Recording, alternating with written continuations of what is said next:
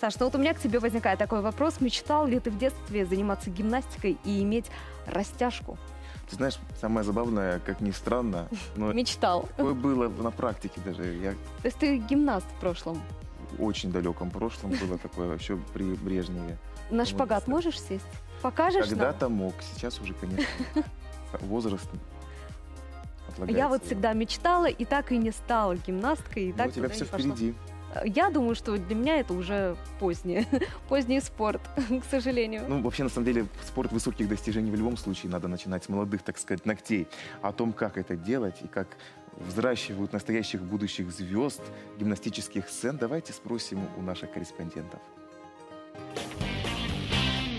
Коленочки втянуты у нас, гвоздики втянуты, длинная шея, подбородок вверх. Поясницу не проваливаем. Еще ножку. И раз.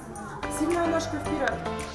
Так начинается путь в большой спорт. Их привели сюда родители, но останутся и добьются успеха лишь самые выносливые и целеустремленные. Те, что выдержат многочасовые тренировки, болезненные растяжки и слезы неудач.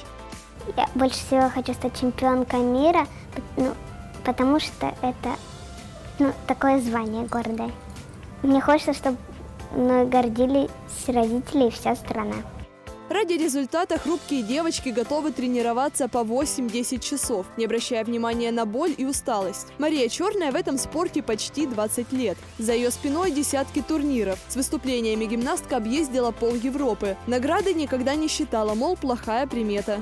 Все медали у нас ценные, потому что э, за каждой из них стоит э, очень много труда. Каждая победа, каждый проигрыш, в том числе, все это двигало вперед. И с каждой этой медалью становилось все легче и интереснее бороться дальше.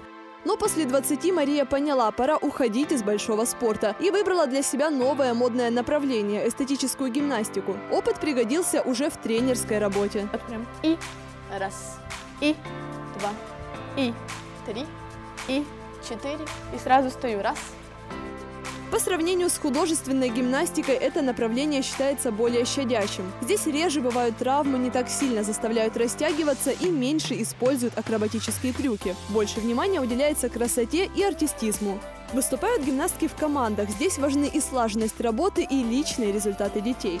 А это малышки от трех лет. Считается, что после шести мышцы и связки уже не такие эластичные. Каждой девочке тренер ищет свой подход. Кого-то нужно уговорить, другую заставить, а некоторых просто пожалеть.